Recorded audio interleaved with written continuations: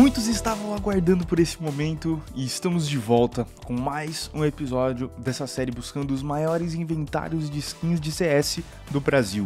Hoje, finalmente, com o nosso top 3. Subindo a regra novamente, porque a gente vai trazer uma coleção incrível. Olha, o top 4, o episódio anterior, que foi inventado do PDRZ, já me impressionou em um nível absurdo. A gente descobriu algumas skins que estavam no Brasil que eram muito valiosas e nem todos sabiam da existência delas. Isso é o intuito dessa série, trazer à tona aqui os maiores colecionadores de skins do Brasil. E antes de entrar no top 3, eu só queria dizer que pode ter um colecionador que entraria muito provavelmente no top 5 e passou despercebido. Como é que eu posso explicar? Esse colecionador, a princípio, eu não conhecia. E pelos boatos que eu ouvi, o tal colecionador que talvez entraria lá no top 5 ou top 6, teria um inventário privado há muito tempo cheio de Doppler Gems. De qualquer forma, isso não iria interferir até onde eu entendi mais ou menos o valor do inventário dele no top 3. O top 3 ficaria normal do jeito que estava quando eu bolei a série e pesquisei todos os colecionadores do Brasil, mas o que eu prometo para vocês é que no próximo vídeo, depois desse, a gente já vai ter o top 2 e o top 1 de uma vez só, nesse dia nessa hora que tá aparecendo na tela, sai no YouTube. Então venham e assistam que vai estar tá irado. E não só isso, mas nós vamos começar o ano redefinindo aí os top 15 colecionadores de skins do Brasil, porque eu até onde entendi, coloquei uns ali que poderiam estar tá uma posição acima, uma posição abaixo, porque houveram mudanças durante as últimas semanas e algumas skins também estavam emprestadas. Com isso a gente vem para o nosso top 3 que vai ter duas skins emprestadas que eu vou também levar em consideração nessa lista e que ajudaram ele ali a se classificar como top 3 e eu acho que não é muito segredo, vocês já devem ter alguns nomes na cabeça. Um detalhe: esse colecionador está aparecendo na tela do meu inventário agora. É, vocês já entenderam quem que é, né? Dono dela, a Dragon Lore top 1 do mundo. O top 3 é o cachorro 337 o Rian, que tem esse item aqui há mais de um ano e só com esse item aqui a gente já começa a mostrar o valor total da coleção dele, começando pelo item mais caro. Olha, eu não sou o melhor colecionador de skins do mundo para avaliar essa daqui, porque meu foco nunca foi, minha especialidade não é skins com um float muito baixo, principalmente top 1 do mundo, mas eu sei a história dessa Dragon Lore porque no passado me ofereceram ela. Foi um brasileiro que estava com essa WP e queria na época 30 mil dólares. Depois de um tempo, ele aumentou um pouco o valor com né, a valorização da skin e pelo que eu sei, o cachorro 337 comprou essa daqui por 40 mil dólares. Mas, nos dias de hoje, meus amigos, essa daqui sendo a top 1, eu acredito que esse item possa valer 100 mil dólares. Mais ou menos aí, 485, 490 mil reais com a cotação atual aí do dólar do dia de hoje. Se vende ou não vende, aí já é outro detalhe, mas assim, eu estou colocando aqui um preço de listagem, um preço que poderia ser sugerido, né? Uma sugestão de compra perto de 100 mil dólares. Talvez venderia por um pouco menos, uma oferta tentadora aí de 90 mil dólares, 80 mil dólares, talvez, dependendo da situação aí do momento, poderia acabar levando esse item embora.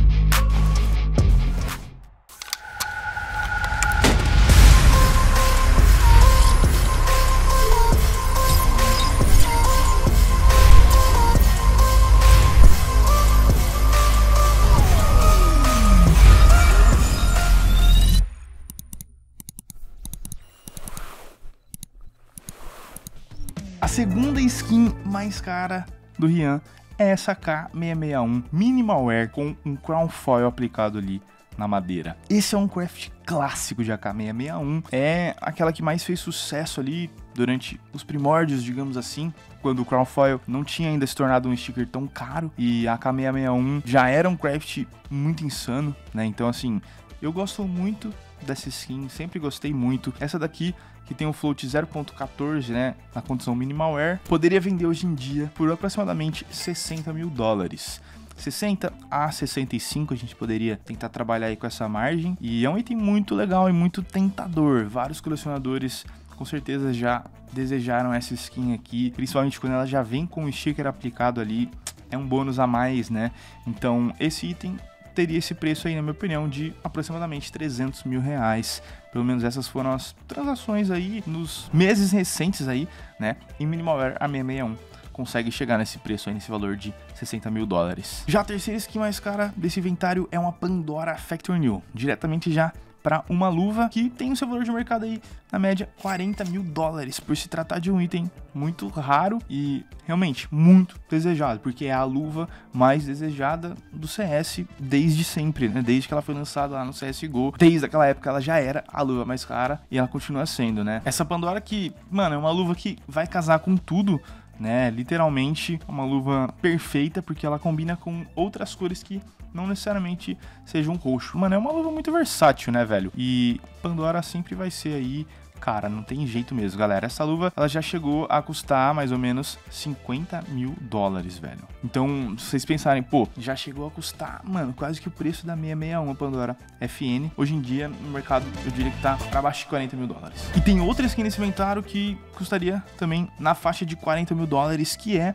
a M9 601, com aí o melhor pattern possível de M9 Case Hardener, né? Essa daqui é uma skin muito insana. Já passou aí na minha mente pegar uma dessa faca aqui algumas vezes, eu acho ela muito interessante. Sinceramente, acho que o preço dela, assim, é justo, não, é muito barato, obviamente, pelo item, né, que ele é. Nesse preço dá para conseguir outras Blue Jays também 100% de azul, mas ele é um item muito famoso, digamos assim. Então, essa M9 sempre foi na comunidade aí dos colecionadores, um item muito popular. Depois, valendo mais ou menos 17 mil dólares, ele tem uma Vice Factor New. Inclusive, quando o cachorro pegou essa Vice, ele me mandou uma print dela com a M9601. Ele me falou que no CS2 estava sensacional essa luva com as facas Blue Jays, que eu tinha que comprar uma. Acabei comprando. Tá sensacional mesmo. E esse daqui é um pattern completamente clean, né? Flawless, sem nenhum risco device, o kit fica perfeito realmente quando você joga uma Blue Jay aqui. Cara, eu gosto muito. Para mim, hoje em dia, assim, olha, surfei aqui.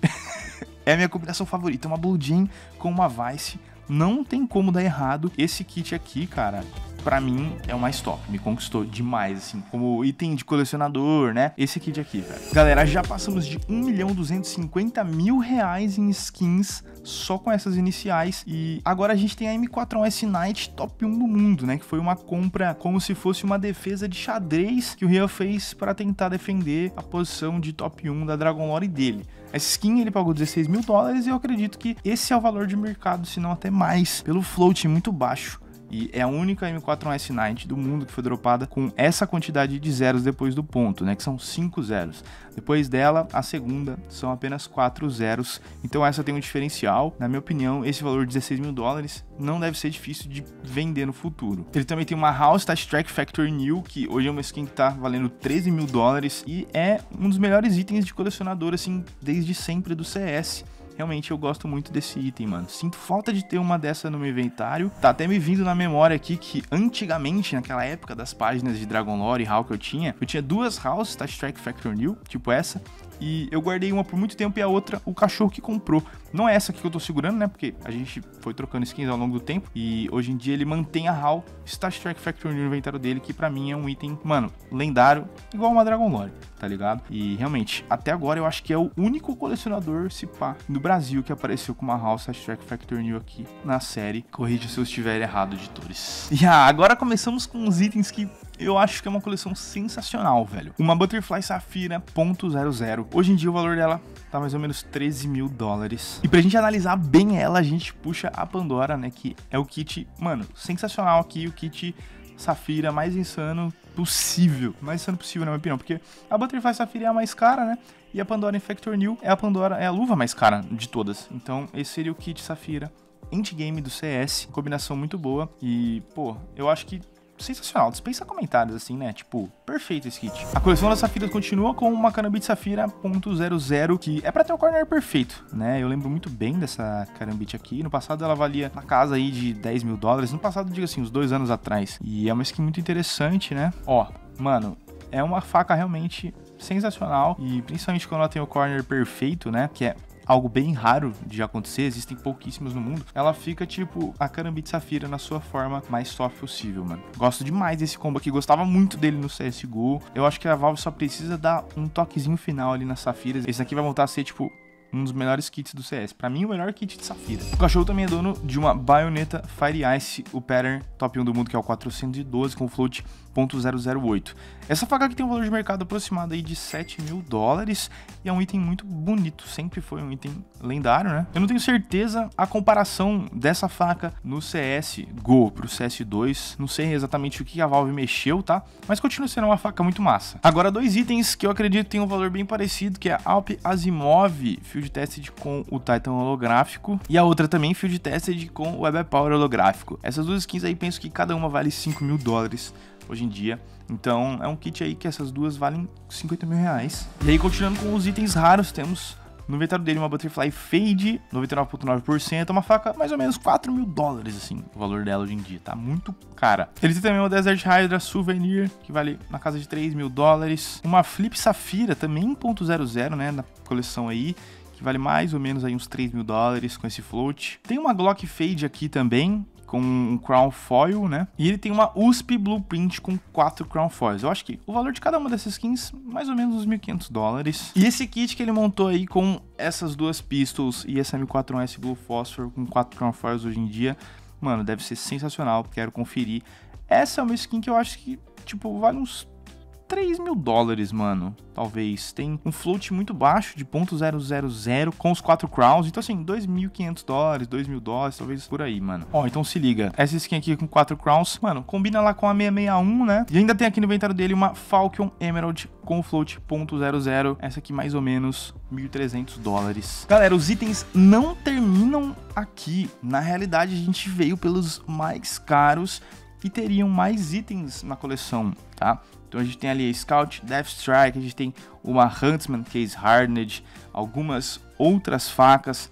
Tem também mais uma skin Blue Gem, que é uma Mac 10 239 com o melhor pattern do mundo, na casa aí dos 700 dólares. Tem Deagle Cobalt Disruption com 3 zeros depois do ponto. SM4S aqui, que ele curte usar, eu também acho ela muito interessante, a cor dela fica muito bom, no inventário roxo ou rosa. E a pergunta que não quer calar é, qual seria o valor correto do inventário hoje? Bom, as extensões, a database Price Empire não consegue detectar overpay pela maioria dos itens, né, como a Dragon Lore, como também aí as Blue Jays. Bom, pelas minhas contas, aproximadamente aqui seria entre 345 e 350 mil dólares o valor total do inventário do cachorro.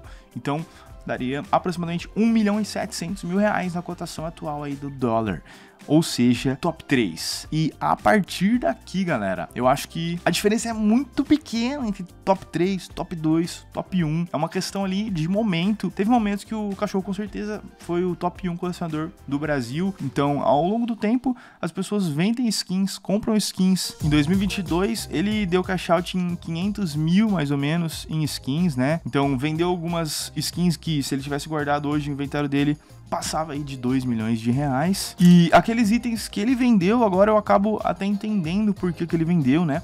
Mandou embora uma coleção de facas rubis e também uma Gangnir ali, luvas vermelhas, porque ele foi mais para uma pegada roxa. É um inventário mais temático roxo, que foi o que a gente viu aí hoje, com bastante facas safiras. E ó, aguardem que em breve vamos chegar aí com os dois últimos inventários que faltam dessa série. Não esquece de deixar o seu like. Antes de ver na próxima, um abraço, falou!